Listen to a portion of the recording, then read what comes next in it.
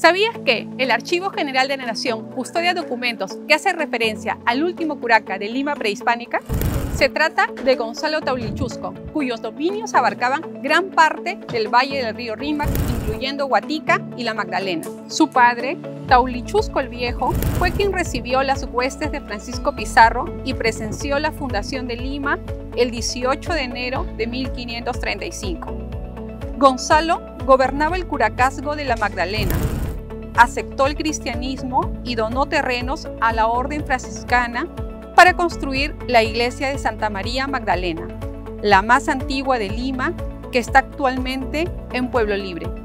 En el AGN conservamos su testamento que data de 1562, donde menciona los terrenos que poseía, además de documentos notariales donde vende alguno de sus solares en 1560 y otro de 1561, donde otorga carta poder solicitando al rey de España que su hijo Gonzalo y descendientes hereden su curacazgo.